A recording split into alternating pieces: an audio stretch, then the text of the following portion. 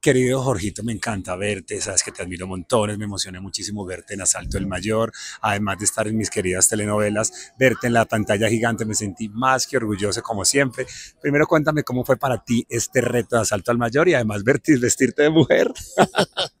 fue muy divertido y además eh, creo que fue un honor. Eh, el gordo dejó nombres y apellidos de quién eran los actores que quería para, para su película y cuando eso sucede es un compromiso inmenso que uno tiene que, asumir con todo el respeto eh, que merece eso. Lo hicimos con mucho amor, fue un, equipo de creación muy fuerte, muy divertido y creo que la película lo logró.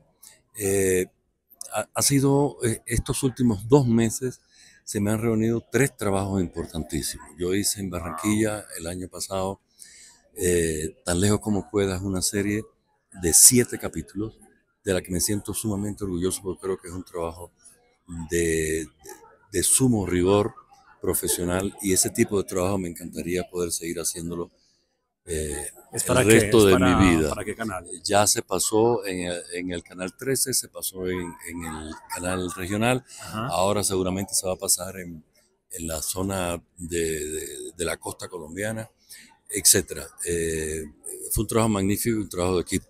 Y por si fuera poco, pues en esta semana, el día 27, se estrena eh, Los Iniciados, 2. Eh, hecho con todos los hierros, queda demostrado que tenemos excelentes guionistas, excelentes directores de arte, excelentes fotógrafos, excelentes actores. Lo que nos falta es la plata para poder hacer una película.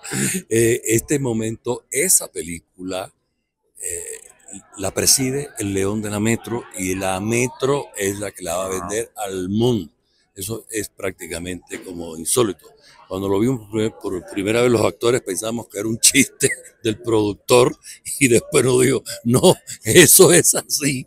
Entonces, creo que, ha sido un momento bien, bien, chévere de año y ya en el noviembre, el 9 de noviembre, eh, regreso a la Compañía Nacional de las Artes con Flores para Laura, que es una versión del Zoológico de Cristal de Tennessee Williams, que es el último trabajo que he hecho eh, de teatro eh, dirigiendo jóvenes actores. Espectacular. Ah, se me quedó otra cosa este año. Es que yo trabajaba como una bestia. Qué bueno. Ok. Tú sabes que yo tengo un taller itinerante desde hace 18 años.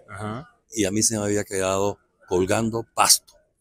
Y este año tuve el privilegio de trabajar con jóvenes creadores de pasto durante 20 días y eso va a conseguir, eso va a continuar. Lo máximo. Anécdota se quería recordar cuando me tocó actuar en La Ley del Corazón contigo, que fue muy gracioso porque yo estaba súper asustado y, tenía una escena contigo y tú llegaste, ni siquiera habías visto la escena, la miraste en dos segundos, te la aprendiste, la interpretaste, quedó divina y yo súper asustado como dos, cuatro o cinco días aprendiéndome ese texto. Increíble. Porque nada, se te olvidó que lo único que tienes que hacer es esto que eres tú, un periodista. Sí, exactamente. Bueno, cuéntame de nuevos proyectos. Pues, por ejemplo, ¿te gustaría Pasión de Gavilanes, una nueva versión que hicieran, que te llamaran? Porque la anterior fue malísima. Acertaste, ¿no? Acertaste no estar ahí, porque se habla de un Pasión de Gavilanes 3. ¿Tú te meterías ahí o no? Ya no. Yo creo que ya no. Yo creo que Pasión de Gavilanes es la Pasión de Gavilanes que hice, que la hice con todo mi amor hace 21 años. La que nos gustó. Y es la que la gente me sigue escribiendo. Yo he puesto esta semana todo lo que, todo lo que acabo de narrar de lo que estoy haciendo, de lo que ha hecho, de lo que va a salir.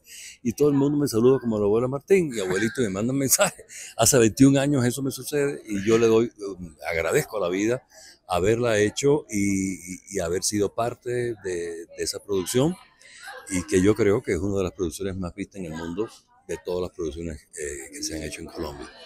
Y sí, no, pero yo creo que ya eso es el pasado. Yo creo que, que quiero hacer cosas nuevas, quiero eh, hablar de, de, cosas muy particulares en todas las zonas del país que yo estoy recorriendo de arriba abajo veo nuevos creadores con ideas fabulosas que están contando los conflictos reales, que no solo es el narcotráfico, son los conflictos de los seres humanos. Eso lo quiero hacer con Cali, con Medellín, con, con todas partes. Tengo proyectos, ahí veremos que lo que le falta es la plata para poderlo hacer, pero yo estoy seguro que lo vamos a hacer. Lo máximo. Y por último, te cuento que conseguí la ficha de Pecado Santo.